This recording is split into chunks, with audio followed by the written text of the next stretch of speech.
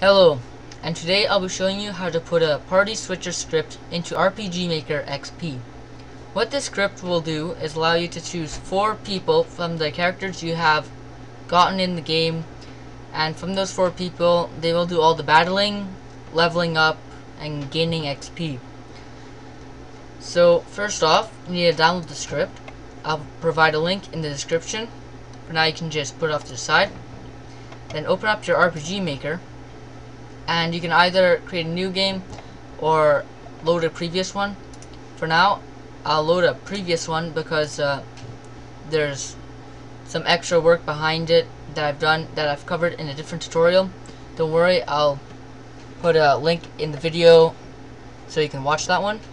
But for now, you just go to the script editor, scroll down to main, right click it, and insert you just call it the party switcher. Go back to your script, highlight it all, or control A, then copy and paste it in. So now that we actually have the script in here, we want to add it so uh, so we can access it from the menu. Um, in the previous tutorial, I've showed you how to add extra slots in the menu, and now we're going to actually make use of those slots. don't worry, I'll provide a link to that video. So for now, we go to scroll up to scene party underscore change. Just highlight it all, copy, and go to the scene menu. Now, from the previous tutorial, you'll see that I still have the things that I added in. So now since we want to add it to the party. So when we look at it, it should be 0, 1, 2, 3, 4, and then 5. So when we scroll down to here, we're going to see 0, 1, 2, 3, 4, and then 5. This will be our uh, party switching script. So under the, the 5 here, we'll see scene equals scene end dot new. We want to take out the scene end and replace it with scene party change dot new. So then we'll apply and OK. And this is what it should look like at the moment.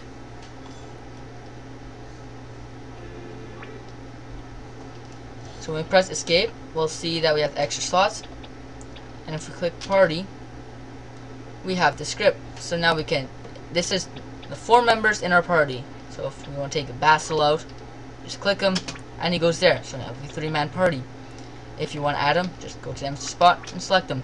There can be many people in this column here. But if we X out of this, you notice we go to the map. Now, what we really want is to be going back to this menu. So we'll uh, we should go to the party switcher script. Then we'll scroll all the way down.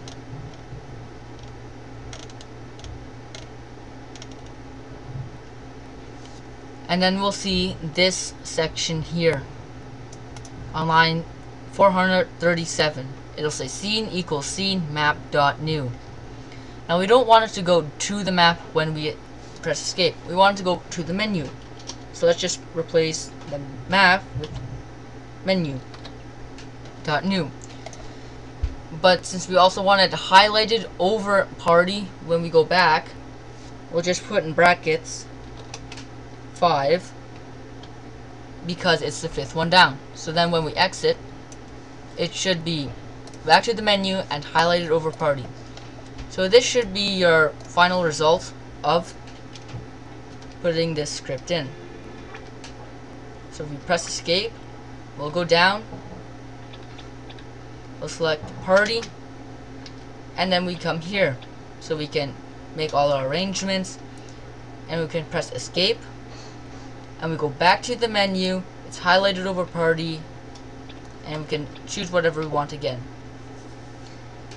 And that's really all there really is to the script. So rate, comment, subscribe, and I hope you enjoyed.